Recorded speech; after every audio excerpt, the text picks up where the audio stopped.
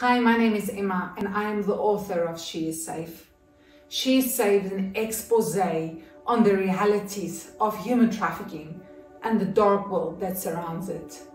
The book is about the stories of some of the most bravest, incredible women that I've met that have impacted my life greatly.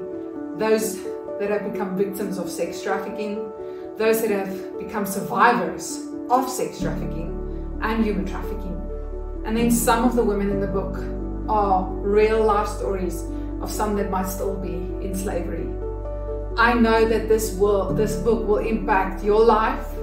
It will transform you, but also that it, my hope is that it will transform South Africa and a way a rude awakening of what is really going on in South Africa and regarding human trafficking. It is a global crime, it's a crime that is affecting South Africa and our borders, but also worldwide. Women are being trafficked into South Africa and outside of South Africa. We have to voice, we have to speak up, and we have to bring change. I hope that this book will change you, but also change this nation.